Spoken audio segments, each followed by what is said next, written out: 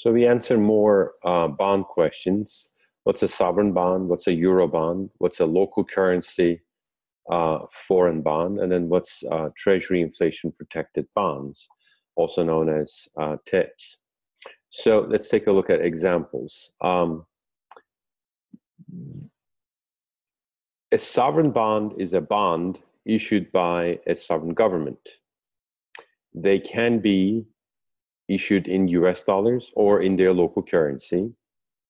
A euro bond is a bond that is referred to, well, that's a bond issued generally in US dollars. Um, that usually does not mean it's European.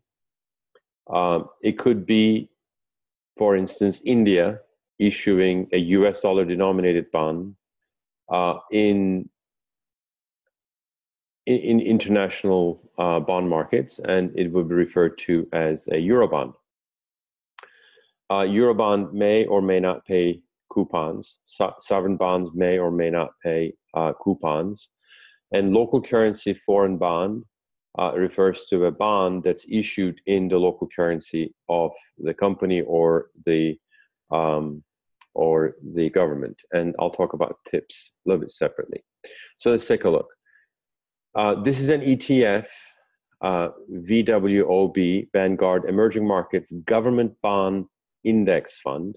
And if you look at the holdings, you'll find that this is uh, Qatar, State of Qatar, Saudi Arabia, um, Petróleos Mexicanos, and, and so on and so forth. So um, this is US dollar denominated, uh, issued by governments and government related issuers.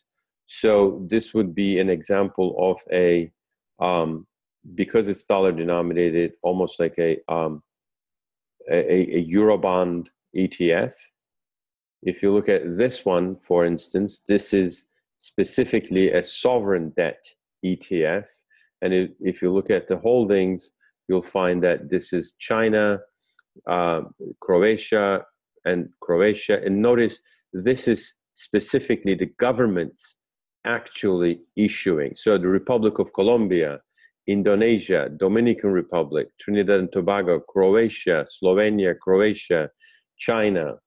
Now, if you go back to the other one, notice you have Petro, uh, Petróleos Mexicanos, Petrobras Global Finance BV, so these are, or these can be corporations in um, other foreign countries. Uh, but then you also could have uh, governments as well Russia, Federation Ministry Finance, uh, Qatar, State of Qatar, and, and so on and so forth. So uh, when we're talking about government bond index, um, it may not be specifically the government itself, it could be an agency or a company uh, owned by the government and um, and and uh, almost like an agency of um, of the government. But when we're talking about the sovereign, then the sovereign only is uh, refers to the actual governments issuing um, these bonds. Now, this is also emerging market U.S. dollar based, so these are also dollar based uh, ETF for uh, euro bonds for sovereign debt. Now, EMLC, for instance, is an example. By the way, I'm not suggesting that you know you, you should buy these at all. These are just just examples. Um, EMLC is a local currency bond ETF, uh, and if you look at the holdings, you'll find that now you have again um, countries. So, Republic of South Africa, Argentina, South Africa, Philippines, Uruguay, Dominican Republic, and so on and so forth. But then this time the issues are in their own currency. So, whatever the currency associated with each country, each bond is issued in that country in that currency. So, by investing in euro bonds of sovereign debt, you are taking the sovereign country's credit risk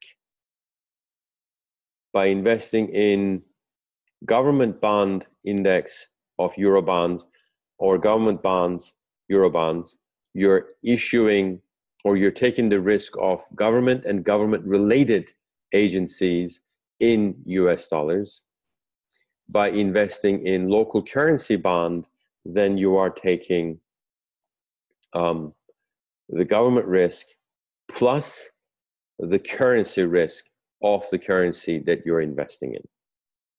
So the sovereign bond is issued by uh, a sovereign country. Uh, a euro bond is in US dollars, issued by a corporation or a government. And a local currency foreign bond can be, again, um, a foreign government or a foreign corporation, but in their uh, local currency. Let's take a look at what TIPS is. So, Treasury Inflation Protected Bonds. Let's take a look at the Treasury's website just to see what that is.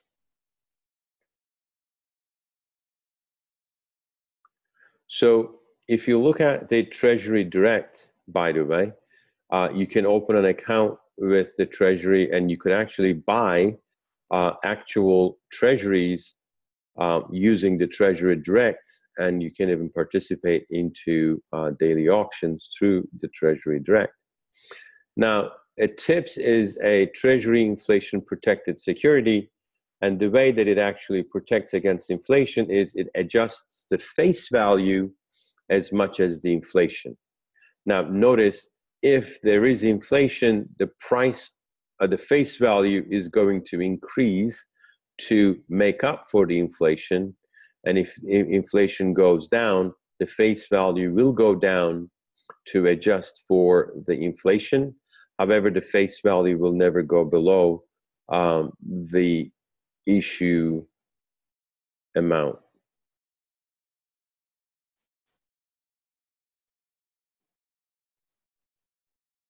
So they pay interest twice a year at a fixed rate.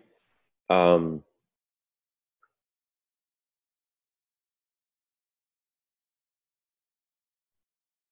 so if you look at um,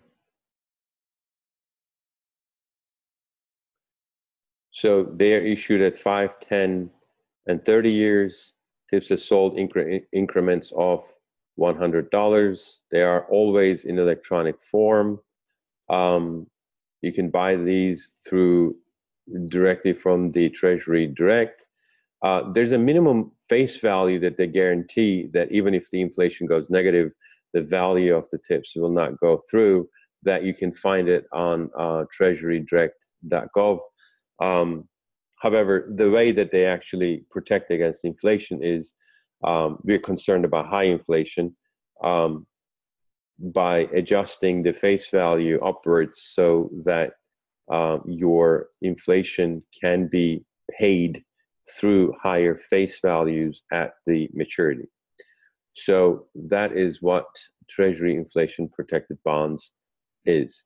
Now there is a uh, an ETF called TIPS.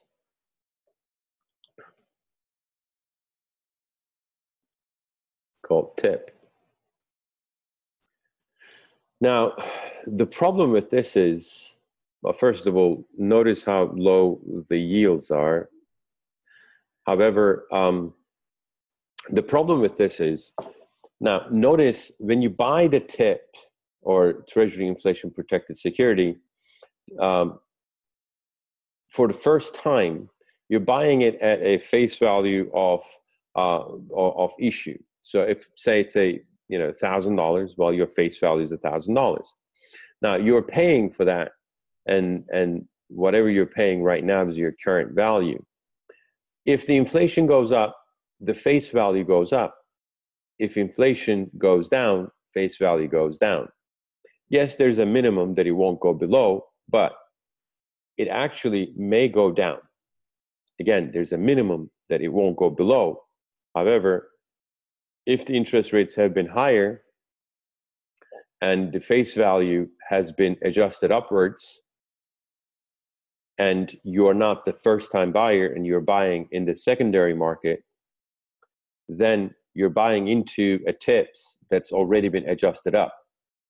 So if inflation go go low or lower compared to your purchase date then the very bond that you have purchased that has a face value that's been adjusted up because the inflation has been high Now that the inflation is lower, the face value will come down, which means the very bond that you bought will have a face value lower compared to the time of your purchase. So, in which case, this ETF, which is actively managed, may have bonds that have been already adjusted up. So, if the inflation from this point forward goes down, then you would expect the value of this ETF to go down. Let's take a look. You see how, although again, not much, but you see you have seen as low as 109, as high as 116 or 117. So just because you're investing in tips, especially through an ETF, does not mean that you are immune to the risk of inflation volatility or risk of market yield volatility. So this concludes our four questions.